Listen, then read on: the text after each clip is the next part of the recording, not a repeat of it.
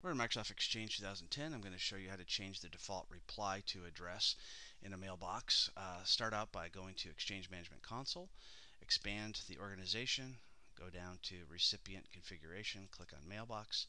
On the right hand side you'll see a list of mailboxes. Just double click on the one you want to change and go over to the email addresses tab. Now in order to make a change, you can see the set as reply address is grayed out. So you have to uncheck the automatically update email address box at the bottom. Now you can go in and change and choose a different mail uh, email address to be your reply address. When you're done, just click.